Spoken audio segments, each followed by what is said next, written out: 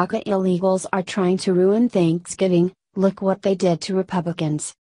Let's make it clear. DACA was an Obama era scam to let illegals into the country.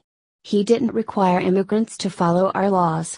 He rewarded people who broke the law. Now it looks like DACA will be revoked. And illegal immigrants are outraged. DACA recipients don't have much hope. President Trump has vowed to end illegal immigration. His supporters and strongly opposed to DACA. Democrats who want to protect the program don't have the votes. So what do these illegals decide to do? They go on a hunger strike. Uh, what? From Breitbart. Bart. Illegal aliens shielded from deportation under the President Obama created Deferred Action for Childhood Arrivals, DACA, program are staging a hunger strike in the days leading up to Thanksgiving Day. The group of illegal aliens from New Jersey have promised to not eat until Thanksgiving, according to WNYC, while they lobby Republican members of Congress to pass an amnesty for the nearly 800,000 DACA recipients in the U.S. I'm sitting here looking at my last meal and trying to imagine what my meals would be like if I was sent back to Mexico, DACA illegal alien Adriana Delgado told WNYC.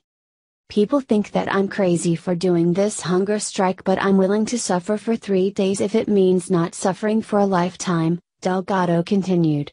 There will be thousands of families who will have broken dinner tables if nothing is done.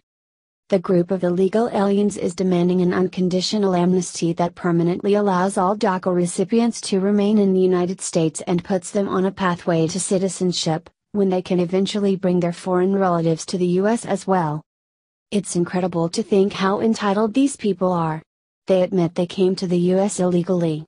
Yet they want to receive special treatment. You have liberals like Obama for that kind of bizarre thinking.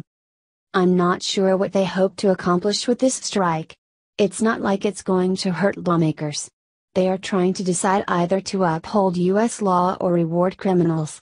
Do they thinking not eating is going to make a difference? DACA illegal aliens have been lied to. Obama made them think they could get away with breaking US law. It's painful to think they will be deported to Mexico. But a country with no borders is no country at all. You cannot punish American citizens to help those who came here illegally. It's funny how they're fasting until Thanksgiving.